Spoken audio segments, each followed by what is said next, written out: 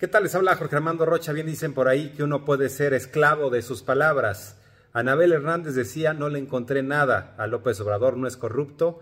Ella señaló que en su momento una fuente le había comentado eh, que el tabasqueño se había comprado una mansión en las lomas.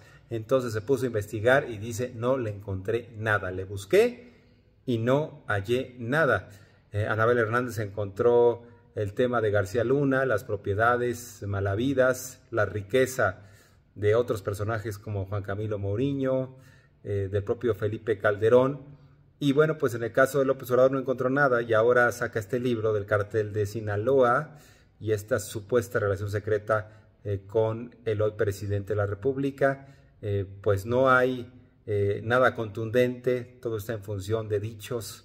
pero bueno, ¿a qué Anabel Hernández le creemos, a la que decía ya le busqué, no le encontré, o a la que acaba de publicar este nuevo libro. Experta en investigar temas de corrupción, que le encontré las joyas a Fox, que le, encontré los contratos a Manuel Luis Casagón, que exhibía a Juan Camilo Muriño, que le he encontrado las propiedades al secretario de Seguridad Pública Federal, Genaro García Luna, que se supone nadie debería saber dónde vive. Yo sé dónde vive, yo sé cómo se compró esa casa. Te puedo decir que Andrés Manuel López Obrador, yo, Anabel Hernández, no he encontrado nada que tenga que ver con ese enriquecimiento ilícito del que se quería acusar, como generar el rumor para desprestigiarlo. Yo no he encontrado eso.